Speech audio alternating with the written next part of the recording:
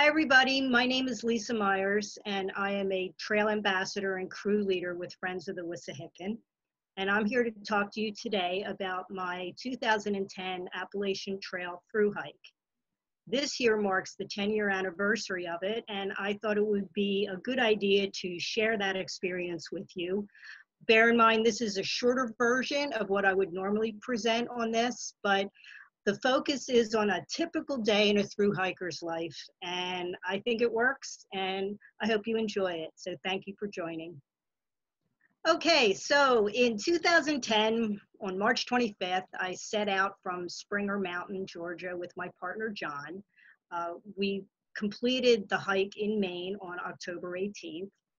And you'll see there in quotation marks, our name was Two of a Kind. That was our trail name that we shared. And in a few minutes, um, I'll explain to you how that came about.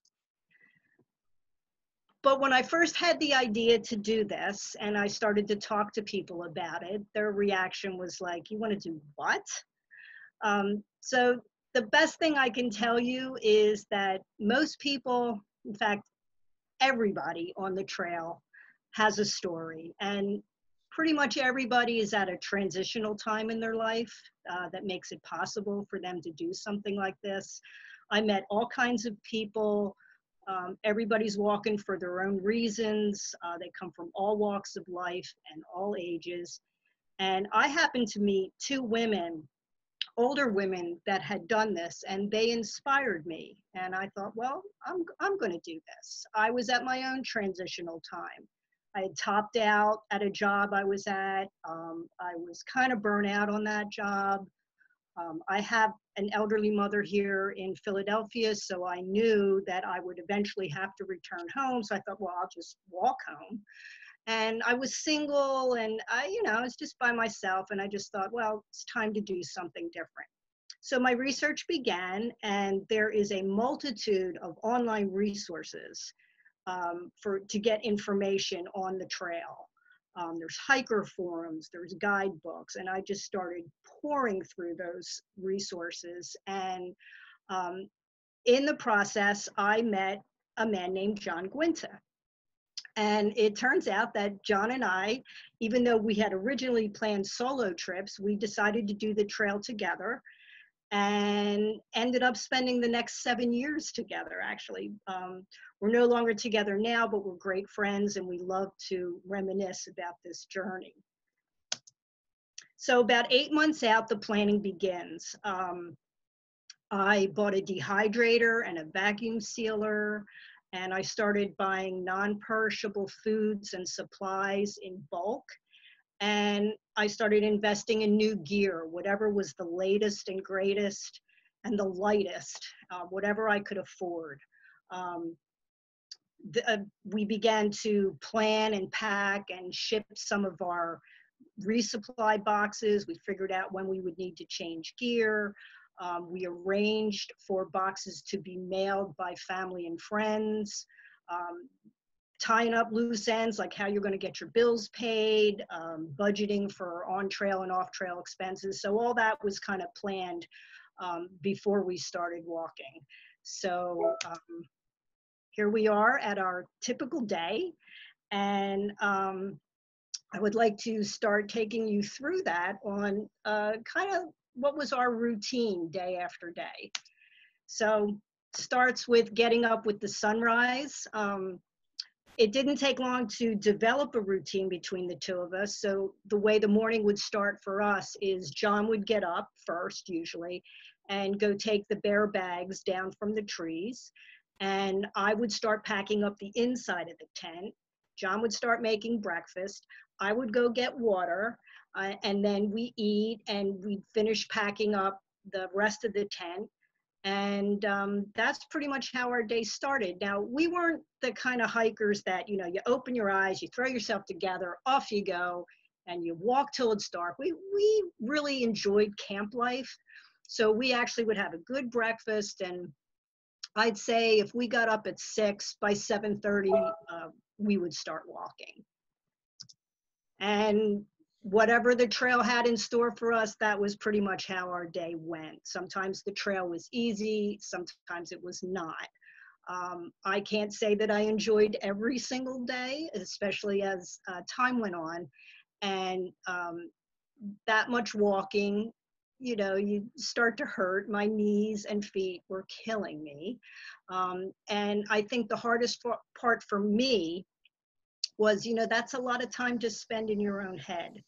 Um, even though I went with someone, we had very different hiking styles. And a lot of times he would be ahead of me. He'd always wait. he was always kind of within earshot. But, you know, sometimes it was, even though we were together, it was still very much a solo experience. And sometimes that amount of time in your in your own head thinking about things, you know, that's not always good, you know, especially when you're doing the woulda, coulda, shoulda thing about your whole life, because we have plenty of time to think about it. But, um, you know, uh, whenever, however bad the day went between us or for ourselves, once we got to camp, it was, you know, everything was uh, forgotten. We were pretty much a team and we would, we loved to look at the pictures and talk about the different scenery that we saw.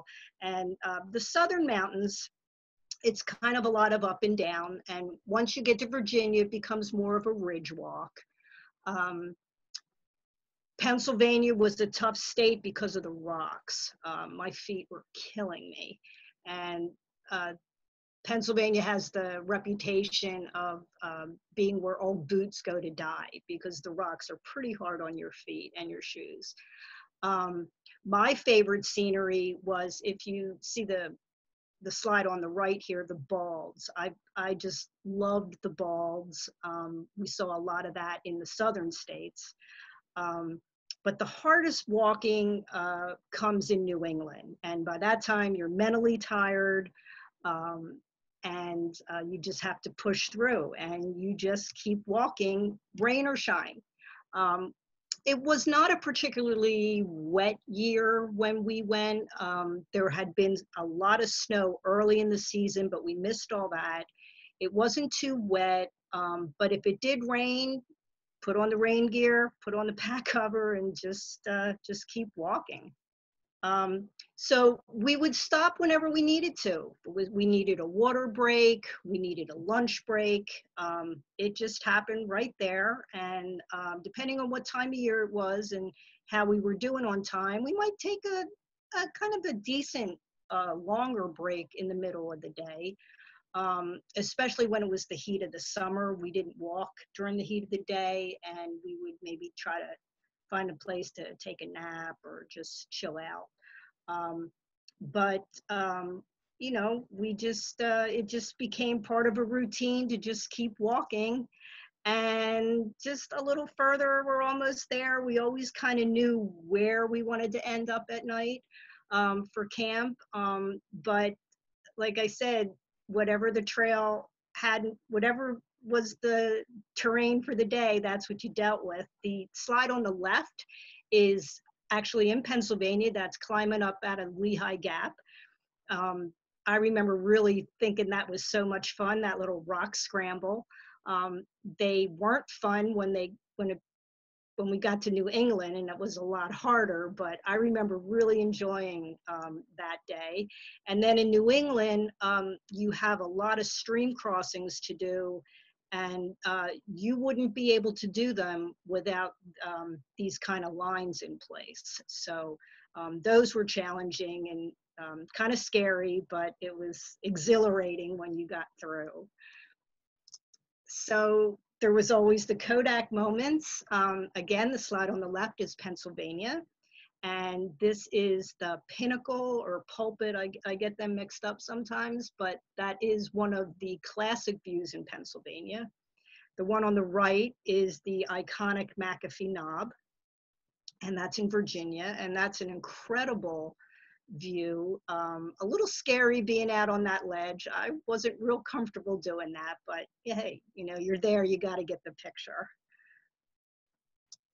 So um, so John and I like to kind of take care of ourselves and keep clean if we could. Um, unlike a lot of men on the trail, John did not let his beard get full or, or anything like that. He shaved and he had his little routine and little things that he did. And, and I always like to try to just clean up and I always like to soak my feet. Um, just a little bit of self-care and usually just a quiet time um, to just sit along a stream. And um, so we, it was funny, we would get, uh, this happened twice, we would get a shuttle ride into town.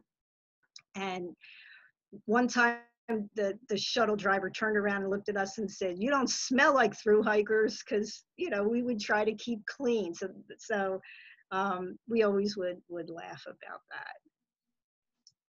Um, so once we got to wherever it was we were going to be, um, we usually had a choice whether to stay in the shelter or um, stay in our tent. Most times we stayed in the tent, um, just a little comfortable, it was more private. Um, the nice thing about the shelters, though, is that there were generally, uh, they were usually around a, a, reliable water source and they would have a privy, which is, you know, that was a, like a convenience. Um, but if we were the only ones and the weather was bad, we would stay in the shelter. Um, so uh, Pennsylvania actually has some beautiful shelters in, in the the southern uh, part where the Appalachian Trail first comes into the state. Um, shelters could be new, old, um, fallen down. Um, sometimes they had mice in them. And remember, you're, you could be sharing these shelters with other people and they might be coming in or out at different times and they're snoring and farting. And so most times we stayed in our tent because we liked camp life.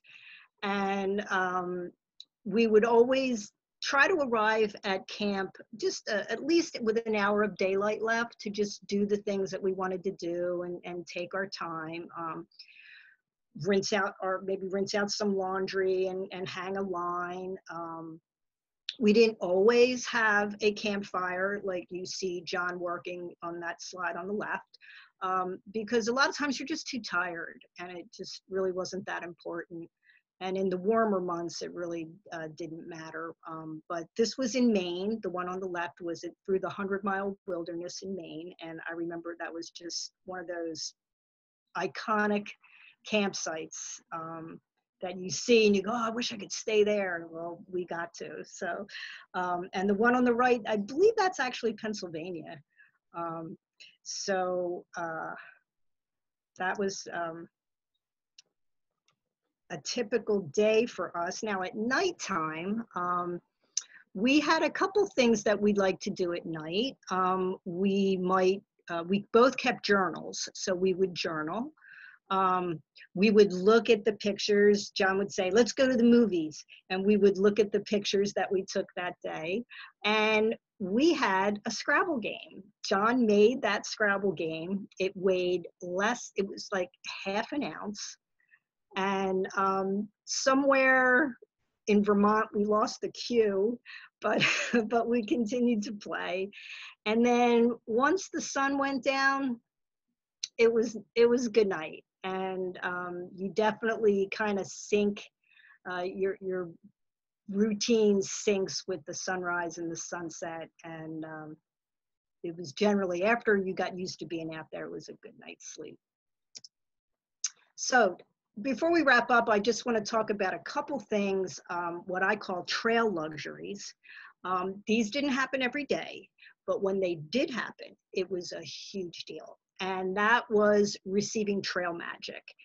Um, trail magic is um, kind of think of it as a random act of kindness that someone who is not hiking does for hikers. And it could be leaving bottles of water and snacks in a cooler at a trailhead, at a road crossing, or it could be like in the case of the slide on the left, that was Easter morning and we got to a road crossing and there were all these people and they were making breakfasts for everybody that came by. So uh, that was fun.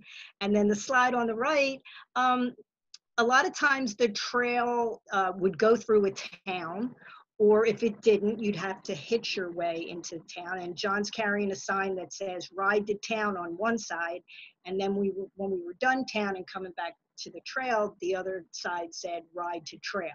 So a lot of these hiker towns, people are used to seeing hikers and they're normally pretty helpful. A trip into town was a big deal because um, it meant you were getting a shower, you were going to sleep in a bed, you were going to go find an all you can eat restaurant and eat to your heart's content.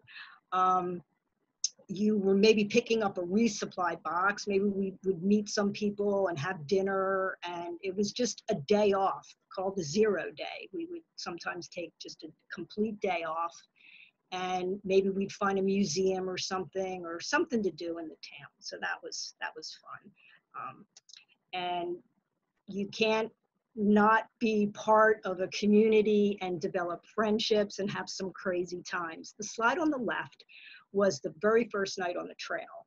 Um, everybody in here started um, at Springer Mountain on the same day. Um, a couple of the people we continued to see, some of them we did not see um, after that first night. And the slide on the right, that was at in Damascus, Virginia for an event called Trail Days. And as you can see, John and I were about the same size and we had a lot of matching gear. It just worked out that way. Um, we had the same hat, we had the same vests, we had the same little blue bags, we had the same camp shoes. And, um, but to tell you the truth, initially, we really didn't embrace this trail name thing. We thought it was just kind of ridiculous and really weren't interested in that. And the guy that you see us with, his name was Country Gold and he was actually the guy on the left. He was way in the back with the orange hat.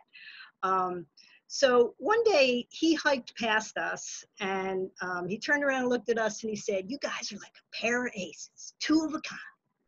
And we didn't think anything of it um, but uh, as time went on and we got to this event trail days um, we walked by this yard sale on the way to this hiker parade that's part of the festivities.